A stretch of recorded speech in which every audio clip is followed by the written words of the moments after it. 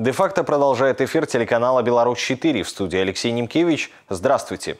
В Речце задержана группа закладчиков психотропа Альфа-ПВП. Правоохранителям помог местный житель, который позвонил в милицию, когда увидел, что несколько парней странно копошились на его улице, ходили от дома к дому и копали ямки.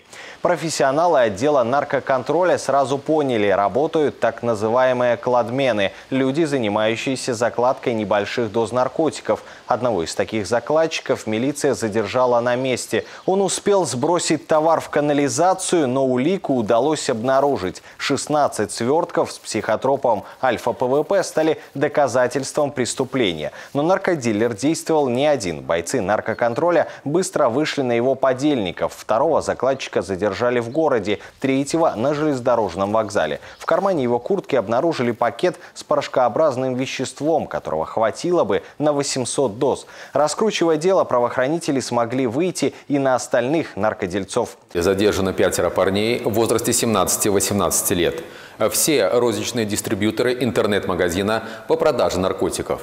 Ходе обыска сотрудники наркоконтроля нашли тайник с особо опасным психотропом. Свертка с альфа-ПВП хватило бы на тысячу доз, но благодаря милиции и бдительности местного жителя теперь это материал для работы экспертов. Закладчики действовали по обычной схеме, в условном тайнике забирали сырье, фасовали наркотики по мелким дозам и отправлялись по городам на гастроли, чтобы распространить в укромных местах психотропный товар. Кроме этого, из незаконного оборота выведено более 100 закладок не только в Речице, но и в других городах Беларуси. Изъят фасовочный материал, полиэтиленовые пакеты, изолента, весы, билеты на железнодорожный транспорт. Из-за непогоды в Гомельской области накануне произошло множество мелких и несколько крупных ДТП. Так, в Гомельском районе в неуправляемый занос вошел автомобиль ВАЗ. Водитель стал выруливать и столкнулся с попутным микроавтобусом. Пассажир обоих транспортных средств в больнице. Водитель легковушки оказался заблокирован в авто. Работниками МЧС при помощи гидравлического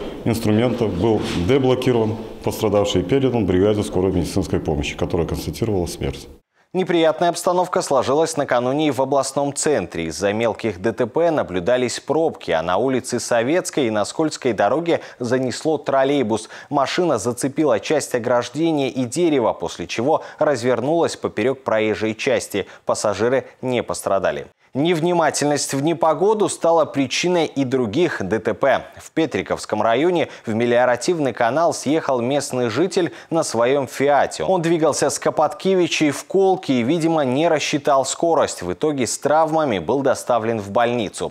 А в Гомеле на улице Междугородней водитель на «Мерседесе» сбил пенсионерку. Наезд произошел прямо на пешеходном переходе. Женщину госпитализировали, но из-за тяжести травм она скончалась.